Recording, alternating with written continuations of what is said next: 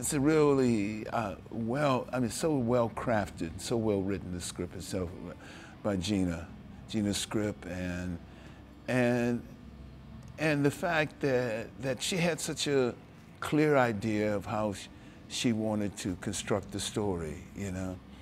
And and once I met with her and talked with her, and she she talked about various other things. I met her family. I, I Reggie, I know Reggie, her husband uh, from a project that we had been involved in before.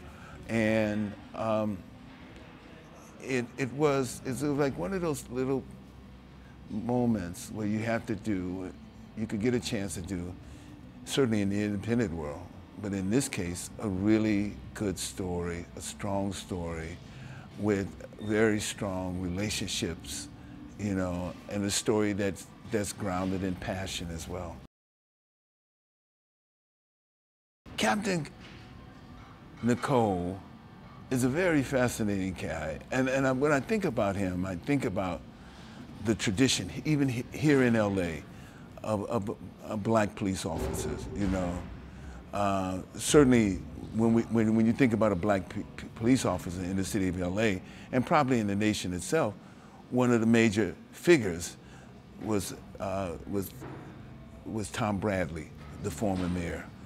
And there's a certain way that, that Tom Bradley's life and the people who became his mentors reflected the kind of tough world that they have to deal in, the coming up through the ranks, and then finding some sort of political life within that.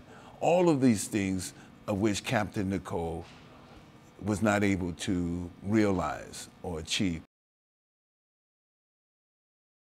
Kaz's relationship is a strong bond between father and son. And Nate Parker is, is, is, if I had a son, I would be like Nate, you know what I'm saying? But there's a strong connection between them. They, they, they, they have the same kind of presence in a sense, you know, and they, they, they've enjoyed life, they've grown together, uh, and certainly eh, eh, his, eh, on, with his father's urging, my urging, that he's, he's, he's pushed himself and he believes that his father, you know, divorced from emotion, his father is, has the right answers, that his father is providing the right roadmap for him to go. And so he believes that.